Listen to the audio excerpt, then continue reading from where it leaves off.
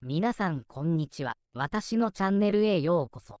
2020年以来4年ぶり8度目のワールドチャンピオンに輝いたドジャースが1日、日本時間2日、本拠のロサンゼルスで祝賀イベントが実施された。大鳥でグラウンドに登場した大谷翔平投手、30は大歓声で迎えられ、ステージ上でスピーチを求められると、ロサンゼルス。おめでとう、ファンの方々、ありがとう。と英語でファンに思いを伝えた。写真、マミコ夫人はどこに、ドジャース婦人会の集合写真。パレード後、スタジアムで行われた祝賀イベント。選手たちが続々と入場する中、大谷は最後に登場。パレードに参加していたマミコ夫人とデコピンの姿はなく、一人だった。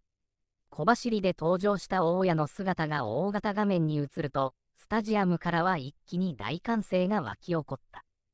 その後、ステージで選手らが次々にスピーチ。すると、後方にいた大谷は抵抗しながらも選手に押されて前方に。恥ずかしがる大谷にロバーツ監督がスピーチを求めてマイクを手渡すと、チームメイトやファンのボルテージは最高潮となった。大谷は、This is such a special moment for me. I'm so honored to be here and to be part of this team. Congratulations Los Angeles. Thank you fans.僕にとってとても特別な瞬間です。ここにいられて、このチームの一員でいられてとても光栄です。ロサンゼルス、おめでとう。ファンの方々、ありがとう。と、英語でスピーチして思いを伝えた。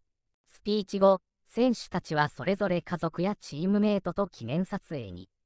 すると、マミコ夫人とデコピンも登場。大谷が優勝トロフィーを持ち、マミコ夫人がデコピンを抱いて記念撮影した。祝賀イベント前のパレードには大家のマミコ夫人、愛犬、デコピンも参加した。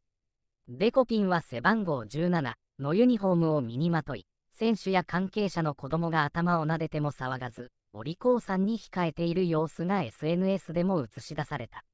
また、球場では何度も、デコイ、コールが連呼され紹介されるなど、知らぬファンはいないほどの人気ぶりだった。大谷とマミコ夫人は3号車に乗車。沿道を埋め尽くした数えきれないファンに、デコピンと一緒に手を振って答えた。また、ワールドシリーズ MVP のフリーマンなど選手も笑顔でファンに答えた。どう思いますか？気に入っていただけると嬉しいです。また次回お会いしましょう。